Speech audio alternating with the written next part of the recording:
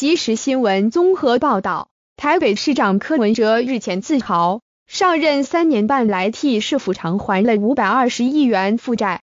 对此，国民党台北市长参选人丁守中则在脸书大酸柯文哲什么大建设都不做，当然是还债王。丁守中说，就像一个公司追求 EPS 好看，完全不做长期投资一样，柯文哲什么大建设都不做，当然是还债王。丁守中指出，内湖线仍天天交通阻塞，文山区交通进出不便，因台北捷运环状路网。原规划有北环段、南环段及台北东侧南北向捷运系统。他质疑为何柯文哲上台三年半，通通不见任何进展。丁守中指出，在智慧城市的建设上，台北红绿灯太落伍了。他举例，国外大都会早就将车流人潮跟红绿灯停等时间同步，反观台北红绿灯深夜没有车了，还是九十九秒起跳。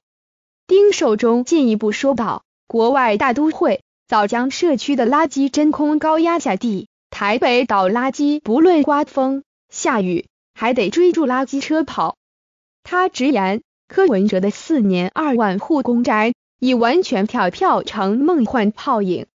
他上台至今只完工一千三百三十四户，且全部是郝龙斌规划的。